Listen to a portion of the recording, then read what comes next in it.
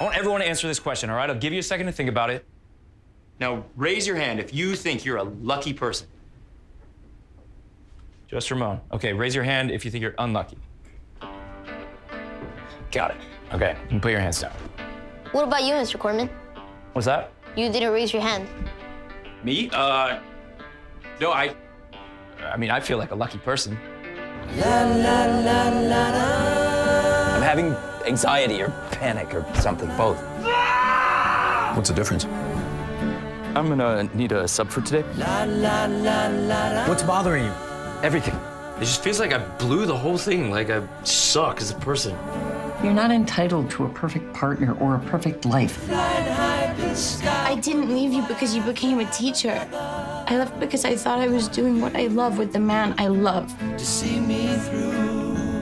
How was your weekend? It was great. He's a big man now. Guys, walk away. Come on, walk.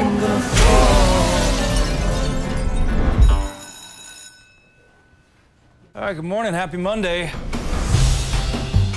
Everything is a complete disaster. You've had the privilege of expecting everything to just work out.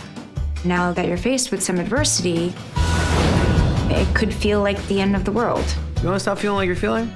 What about this weighted blanket? It costs $250. We can make our own version. You can't make your own version. You feeling less anxious? No, I'm really not.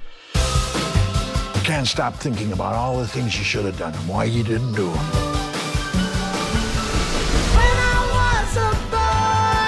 I know I can be negative sometimes. It's not how I want to be. Nothing is perfect.